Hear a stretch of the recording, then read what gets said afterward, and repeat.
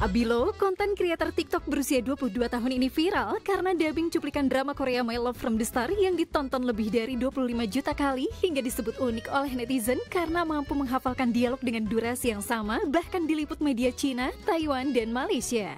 Pria asal Palu yang awalnya viral karena konten lip sync menyanyikan lagu Agnes Mo, namun TikToknya sempat dihack hingga videonya hilang. Ini salah satu kontennya yang kerap FYP berupa sketsa komedi keseharian ibu dan anak. Sulung dari dua bersaudara ini merupakan lulusan SMK Multimedia, pernah bekerja di supermarket, menjadi resepsionis hotel, dan membantu ibunya berjualan makanan.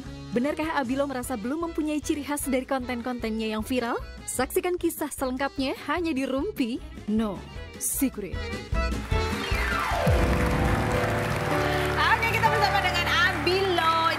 Konten kreator beberapa kali sudah viral gitu ya dari sejak tahun berapa sih? Dua- 2020. 2020. Ya. Tapi sekarang viral lagi gara-gara dia dubbing. dubbing drama Korea ya kan? Dubbing loh drama Korea yang di mana netizen mengatakan tarikan nafasnya bahkan sama. Cela. Ah, coba sih aku pengen lihat yang berikut ini kompilasinya.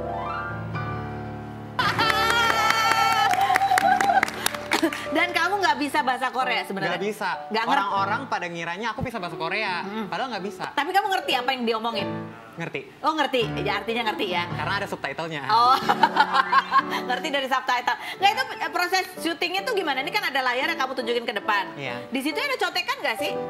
Ah, enggak, aku pure ngafalin. Biar ngafalin. Iya. Luar biasa loh. Oke, gimana caranya step by step sampai kamu bisa hafal kayak gitu? Cara belajarnya gimana? Ah, stepnya yang pertama aku dengerin dulu, terus aku catat. Dari catatannya aku hafal. Jadi tulisannya wanyomo Iya, gitu. tulisannya amburadul pokoknya. Bau gitu. terus terus kamu catat, Catat, dihafal. dihafal. Dah habis itu?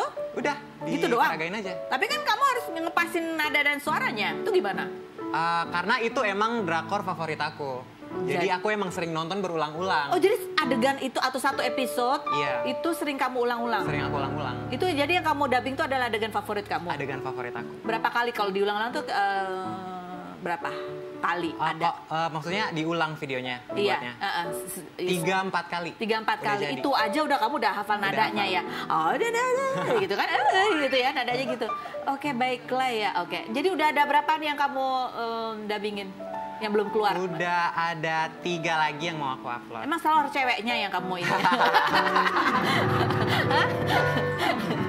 Niruin gaya ceweknya Iya, soalnya aku ngefans namanya itu Chong Song Yi. Aku Oh gitu. sama dia. Oh, Oke.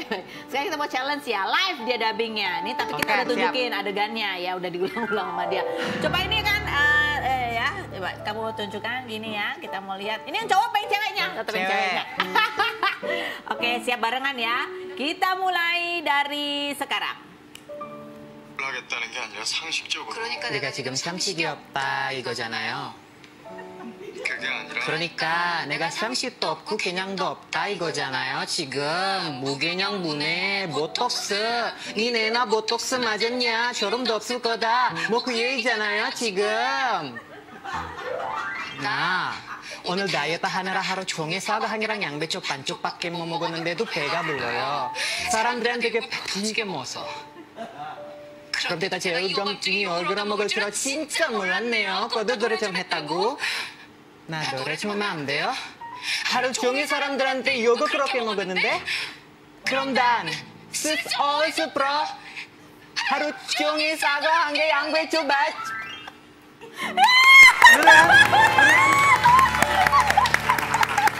Aku sampai ikut tarik Aduh, perlu minum nggak? Nggak. Nggak? Coba kita lihat komentar netizen. Bunyinya adalah eh, ini selain titik koma, penarikan nafasnya juga sama. Emang begitu ya? Mereka kalau ngomong gitu ya, "Ah, ya, ya." sampai habis nafasnya. Yang berikutnya, eh, nggak lupa bahasa Indo kan, bang, gitu ya. Yang berikut ada lagi kema- ke- kemampuan yang berguna.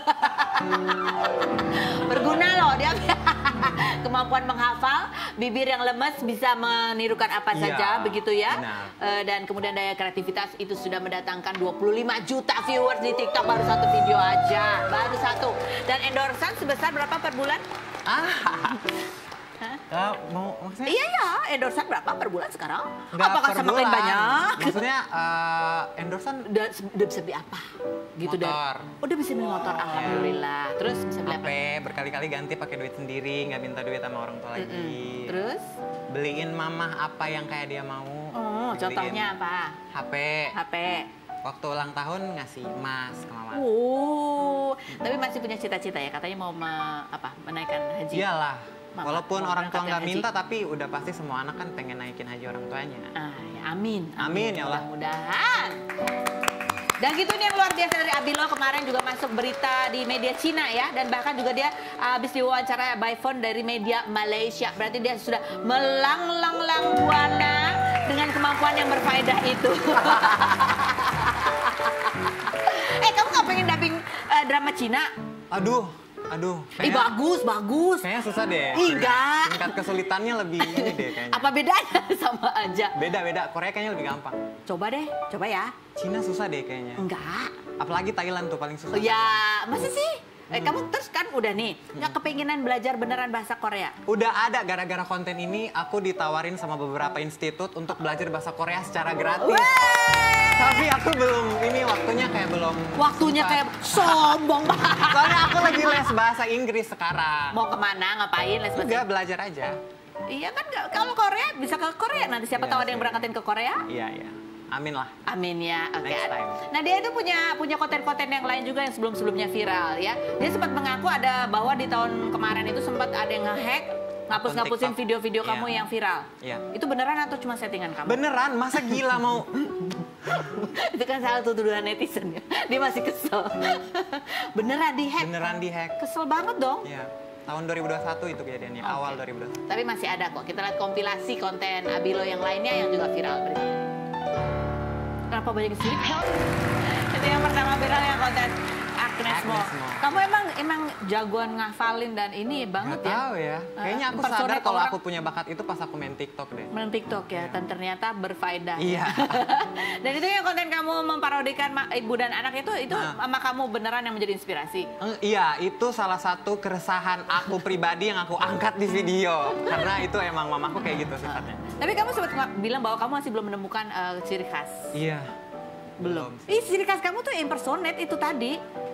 Gak tahu ya, cuman aku ngerasanya aku ngelakuin itu cuman karena harus. Have fun aja. Iya, bukan karena aku kayak nyaman atau gimana di situ. Kamu merasa harus. Iya, aku ngerasa harus. Aku ngerasa kalau itu tuh bukan aku.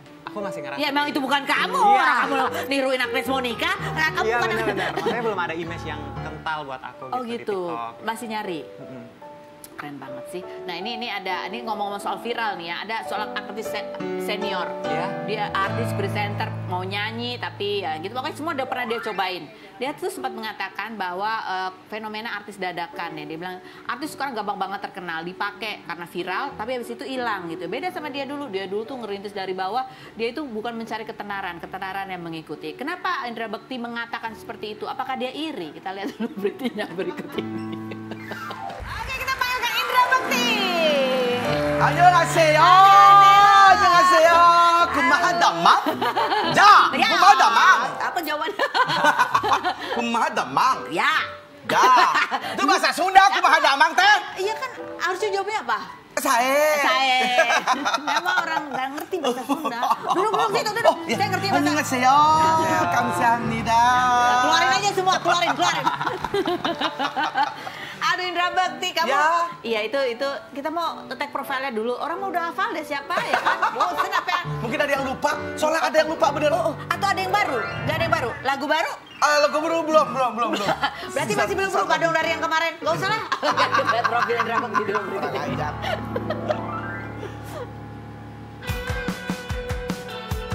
Indra Bekti, artis sekaligus presenter berusia 44 tahun yang pernah bercita-cita menjadi artis seperti Tanto Yahya ini mengawali karir menjadi model cover boy majalah Sampul tahun 90-an, memandu acara Tralala Trilili tahun 1999 bersama Agnes Mo dan juga acara Ceriwis pada 2003 sampai 2010 bersama Indi Barens. Suami dari Aldila Jelita yang menikah pada 2010 dan dikaruniai dua anak ini trending di Twitter karena dianggap netizen mirip dengan pemeran Tuan Choi di series Money Heist Korea, namun beberapa netizen justru tak mengenal dirinya. Pemandu acara dalam pernikahan Via Valen dan Chevra Yolandi pada Juli 2022 kemarin ini pernah mengemukakan pendapat soal banyak orang yang tidak kompeten masuk TV karena viral sesaat sedangkan artis dulu hanya fokus berkarya dan menjadikan popularitas sebagai bonus. Benarkah Indra Bekti merasa iri dengan banyaknya artis sekarang yang mudah terkenal lewat sosial media? Saksikan kisah selengkapnya hanya di Rumpi No Secret.